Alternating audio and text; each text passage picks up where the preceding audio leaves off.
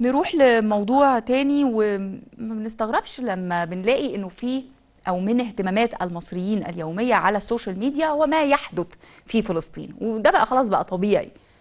وبالعكس ممكن يكون اللي مش طبيعي هو عدم الاهتمام. تحديدا الوضع في مدينة رفح الفلسطينية اللي انتقل ليها الناس باعتبارها المكان الأقل خرابا لكن الوضع اتغير وبقت هي مركز العمليات الإسرائيلية.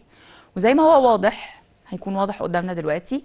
آليات الاحتلال موجودة في محيط آه، تلة زارب ومنطقة العبد وموجودة في داخل الداخل آه، آه، رفح الفلسطينية.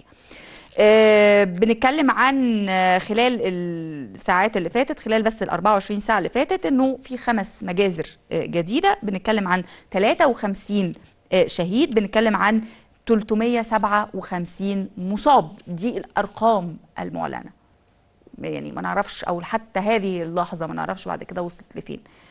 آه، محتاجين تموتوا كمان. الشهوة عالية عندكم أنا عارفة. تو- محتاجين تموتوا كمان لأنه آه، ده ده اللي واضح إنه في أرقام بتزيد بالرغم من إنه حتى الحكومة الإسرائيلية تقول ده ده خطأ ده مش خطأ لكن آدي الصورة آدي الصورة قدام حضراتكم.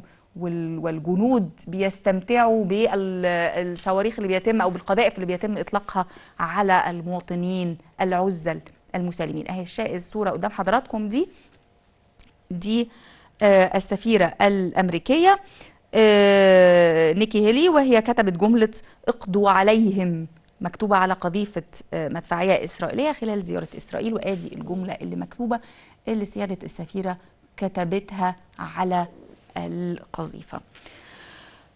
وده خلال زي ما بقول لحضراتكم لخلال زيارة آه، لإسرائيل. نروح لزاوية تانية وزاوية أمل شوية أو من الزاوية من الزوايا اللي إحنا نقدر عليها. من الحاجات الإيجابية على السوشيال ميديا اليومين اللي فاتوا كان في صورة انتشرت وهي صورة تضامنية اتعملت بواسطة الذكاء الاصطناعي مكتوب عليها eyes on رفح. كل العيون على رفح. وصل انتشار الصورة لأكثر من 44 مليون شخص والمشاركات بترتفع لهذه الصورة كل ساعة.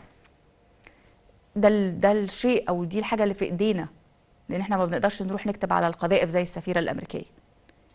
يعني تقدر تقول ان شعوب العالم مع الإنسانية ومع الرحمة بالشعب الفلسطيني فإمتى كمان الحكومات تنتفض وتكون مع آه، الشعب الفلسطيني مش عارفين؟ لأن إحنا زهقنا من الكلام وزهقنا من الصور اللي إحنا يعني بنحاول إن إحنا بس ننفس عن آه، غضبنا آه، فيها. عاوزين أفعال؟ عاوزين نتيجة؟ عايزين الحرب تقف؟ دي كلها أمنياتنا. أمنياتنا إن مجلس الأمن الدولي يصوت النهارده على مشروع قرار لوقف العدوان الإسرائيلي على مدينة رفح الفلسطينية وما يصطدمش كالعادة بالفيتو بالفيتو الأمريكي.